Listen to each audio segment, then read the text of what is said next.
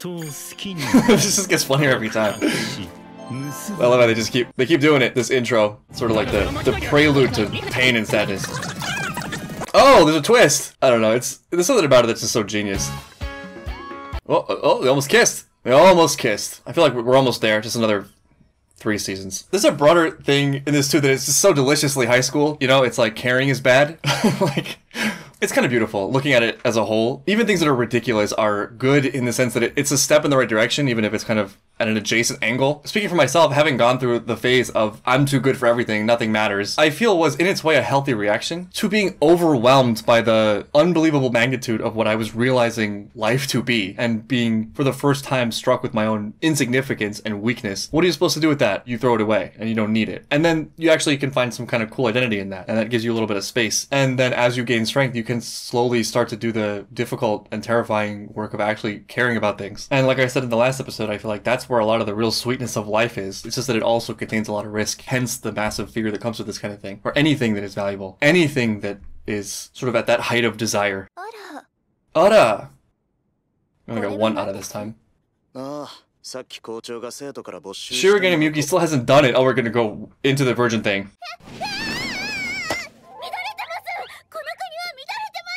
the whole country. Just throwing the whole country under the bus. She was blown away by the magazine's offensive power.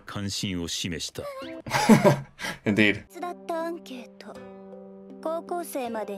が34%この3人のうちの1人は経験済みの可能性が高い I sort of doubt it がアンケートに答えてるから高いだけですよね This girl has a mind for science サンプルセレクションバイアスってやつだ This guy has a mind for science 私は適切な割合だと思います That seems reasonable to me as well 経験あるんですかはい だいぶ前に Oh, she's so casual about it 017なのか well, what? What is happening? He's studying zip codes at a moment like this? Was that one of those moments where to process a thought means dying? Don't let it in. Don't let it in. Don't let the existential dread in.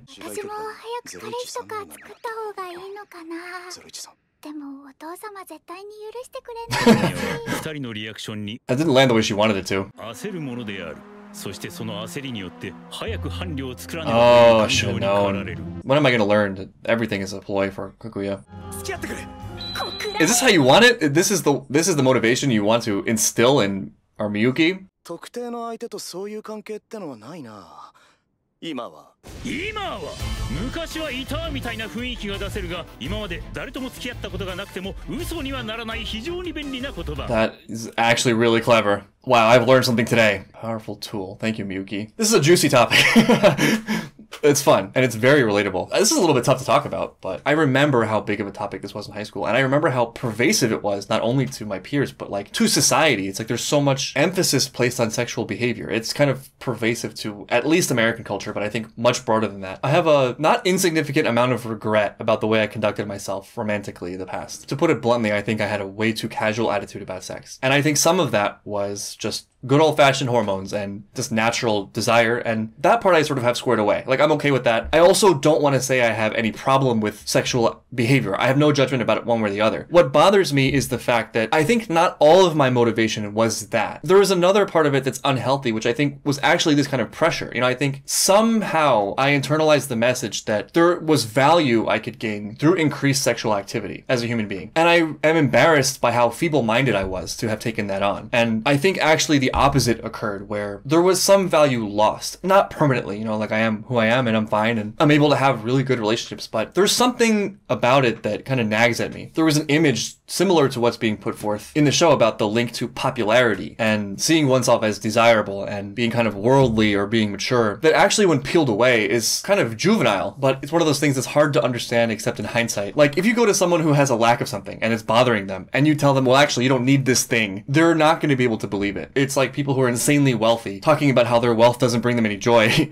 people who desire to be wealthy are like, oh yeah, easy for you to say. So perhaps it's just one of those lessons in life you have to learn through time. But as is often the case with things that I feel moved to talk about, the reason it's important to me is because I feel like there's an overabundance of the other side. I feel like it's an idea that's so taken for granted that there's somehow some value to be gained through promiscuity. Oh no, I've done it again. I've made this lighthearted rom-com heavy and dark. But yeah, virginity, it's, it's terrible and we should lose it as quickly as possible. Oh my god, what is in that cake? oh! And why did I immediately know what that was? that girl pulled a Cartman, but for very different reasons. Well, it's not your abs. If I had grown up in a place where getting good grades and being at the top of your class meant having greater romantic dating potential, I feel like there definitely would have been an impact on my grades. Monster Virgin, my early high school years. Oh, but that's a direct question. I, uh, I'm not, I, I have done it not once, not at this moment, or whatever. A gentleman never tells? I'd rather not talk about it. I mean, those are all valid options, though. Oh, what? What kind of joke is that? Oh, she doesn't know what they're talking about. Holy crap. She doesn't even know what it is. I hope that's what it is. That's what it is, right? It's not talking about. Okay. Kissing. Kissing? She kissing her nephew? this, yeah, you should figure this out from that. She wouldn't admit that. She wouldn't do it, first of all, but okay, you know what I mean. You're doing a great job of that on your own. Not just a, any kiss, like a peck. That's kind of adorable. But she accidentally raised her own value there. she blushes at the birds. Wait till she learns about holding hands. Let her live in, in blissful ignorance for a little while. It's a big day. Miyuki just can't even stand it. Indeed.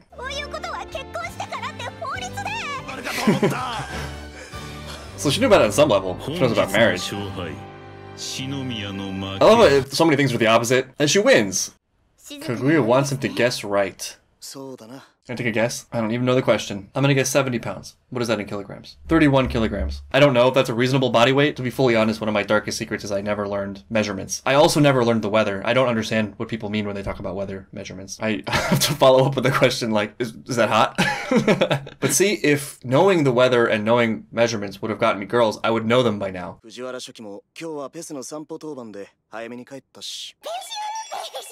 Busy having her first time with Pez. This is another setup. Starting to catch on. So is her. What was with that flashback? Oh, is it actually gonna be weight? It could be height too. Or not.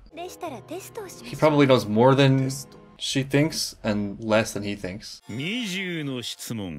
出題者が思い浮かべたものを20回の質問で特定するゲーム This could be fun. Hopefully I do better at this than with rock, paper, scissors. This is cute. They're like actually interacting. 1それは触れられるものかイエス言葉や概念ではありません電化製品か That was very specific. もしくは冷たいものかイエス My heart, the burning fire in my eyes. それは篠宮が今日触れたものか No 6それは篠宮の家にあるか No Oh. How many we got left? Is it you, Miyuki? oh no, it's a trap. It's a trap. This is a trap. She kind of does on you though. I feel like it's in plain sight and it's not him. That's not a yes or no question. 答えられませんのでしまった焦って無駄打ちしてしまった Wait, you don't get that one back? That was unfortunate ちょっと毛の色が明るくて目元がキリッとしてるものか Maybe it's the pawn What is his stance? 俺だ秘めた愛の告白しやがって He's gonna look hella arrogant when he says this 犬正解です正確に言うと藤原書記が勝っているペスださあ帰りましょうか Damn it, I lose again Well done, Miyuki 合格 I feel like that was a wash. Nothing really came out of that. Although they interacted. That felt like the most natural of all of their interactions so far in the first three episodes. They were actually playing and having what seemed like a good time, instead of this weird supremacy battle. 旧財閥の一角に数えられる篠宮家の長女篠宮かぐや 彼女の人生は Kaguya wants to walk 窓の外を眺めながら投稿した回数である、mm, a little bit stifled, huh? エンジンルームの奥に入り込んでしまいまして My cat is pissed off 私は別に私の着替えを待ってたら遅刻するすれですし This unspoken communication かぐや様行ってきます Just putting this guy in a weird position Gotta think about his job I don't understand how you could be that happy going to school though. I guess things are different when you're at the top. 会長は確か世田谷から自転車で通っているとかなら明治通りのルートで来てるはず Never missed an opportunity to play a game with Miyuki. All jokes aside though, I was actually just talking to a friend about this, about how one thing I want to start incorporating into my life again is something that simulates commutes. Because I feel like when I was living in New York and taking the train every day, and then walking to the station and walking home from the station and everything in between, it was surprisingly a really important time to kind of decompress and just think. You know, like have time to think. I feel like a lot of good came out of that. In a way, I, I don't think I ever fully appreciated, except for later on. There have been times in my life where I've been really into meditation, but thinking about it a little bit, I think in a way I've always been into it in some form. It doesn't have to be like a discrete act and process of meditation. There's just something about having moments of non mental occupation where you're kind of just free because your brain is always working on stuff. It can be a little bit terrifying to think about, but for me, I feel like my brain has like a couple layers that are on the surface and are conscious, but then there's a lot kind of happening behind the scenes. Anyone who's ever done math proofs or something similar knows the feeling of an answer suddenly popping to mind, even though you weren't consciously thinking about it. It's because there's there are processes always on, and when they have something for you that they think is good, they kind of push it up to the surface. And I feel like it's in moments like walks to school and things of that nature that I often experience that. But she is fully occupied with this, so not necessarily a meditative act for her. Someone help this girl before she turns into Shigaraki. No! And that's how villains are made. She is going to bring about the apocalypse. There you go. My parents. Sorry, I was dark. I remember my first time crossing a street. These two have something in common. I had the same thought. There's Yeti. You can do it. We believe in you. Wait for the green light. Don't stop in the street. I see now why they were made to travel in groups. God, this is the most eventful going to school process. I feel like I've been to that exact street. Just skip school. You know, you for a day. If you think that's fun. What's going on with this exactly? Huh.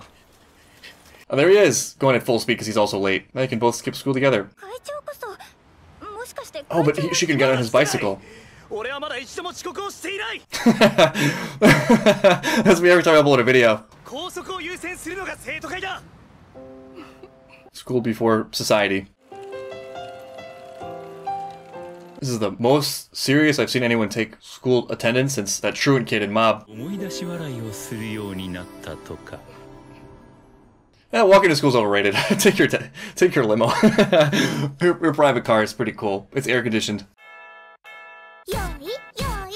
Whoa, what is this? I was not expecting this. But why though? I'm not complaining, but this is really cute. I'm a little overwhelmed. Such a nice little bonus. Love Detective Chika. My IQ might be 3, but I'll handle it. That's a weirdly great confidence boast. I want to believe this is part of the story. Like, she just... This actually happened. This is not an ending screen. This is what she does when people are not around. And she manages to save an insect in the process. Well, she's a love detective, but does, does she know what's going on right under her nose? Why was that so great? that was so unexpected, but really well done. Kind of touched my heart a little bit, not gonna lie. They didn't need to do that, but they did, and we're all better off for it. And she's now my favorite character ever. Also, that line about her IQ being 3 won me over. I love anyone who can be confident about what other people would perceive as shortcomings. Ironically, there's an intelligence to that, if that makes sense. So that was a really nice episode for a couple reasons. One, I love the fact that we had some more genuine engagements, and for the first time we had a kind of out of the office adventure. A more subtle look, I guess, and characterization for, for Kaguya. The premise is so great, I think will be the real test of how much depth it has beyond just being really fun and funny, and kind of tongue-in-cheek insightful look at dating is how deep the characters can go. And I get the sense that they're kind of hiding that a little bit to kind of create a pleasant, fun tone. But in this episode, I'm feeling hints that there's going to be a lot of real heart for the characters as well, and that's that's super exciting. So can't wait to see what is coming up for Kaguya Miyuki and our low IQ, high offense capability, amazing dancer pawn.